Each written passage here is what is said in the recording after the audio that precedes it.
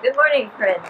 This morning Sunday school lesson is taken from Matthew 14, verses 13 to 20, and it is about the miracle, the, the miracle Jesus performed with the loaves and the fishes. Philip, look at all these people. They've been listening to me all day. It's the end of the day. They are so hungry, and there's no food here. Let's tell them to go to a nearby town or village. There's no food here, and there's no place for them to stay. There's nothing here.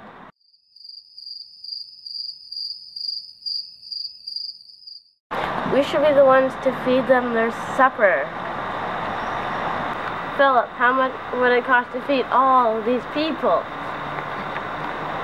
It would cost at least $200, so there's no way we could feed everybody. And even if we had $200, it still wouldn't be enough to buy enough food to, buy, to, to serve everybody. One boy brought his supper with him. He has five pieces of bread and two little fish. But that won't go very far, will it?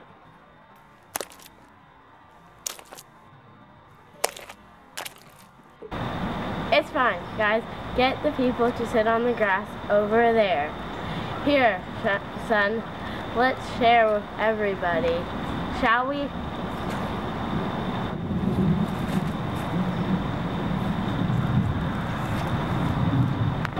Let's pray. Father, thank you that you are able to provide for all our needs.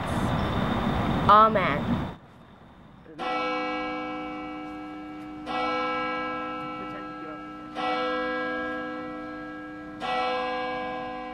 Be, be careful, Jesus. Don't don't give anybody too much because we're going to run out.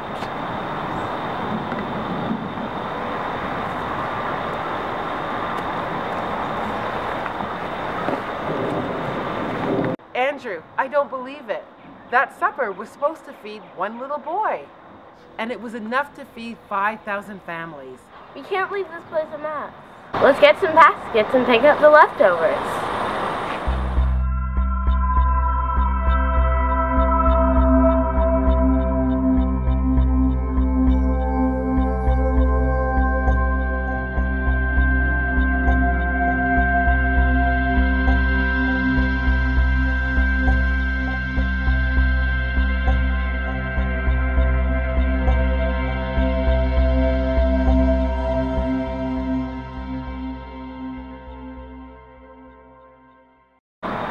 Much was left over? 12 bushel baskets. Amazing. People will talk about this for a long time.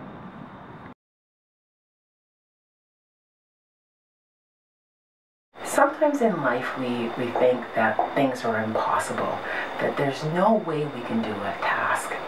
But in the Sunday school lesson today, we see that Jesus was um, able to do an amazing thing he took five loaves of bread and two fishes and was able to feed 5,000 people.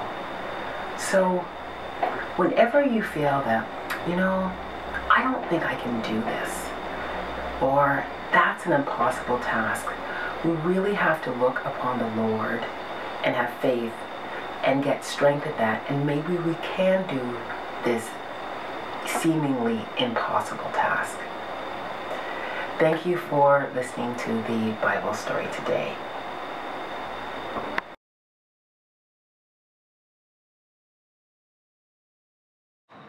I can't um,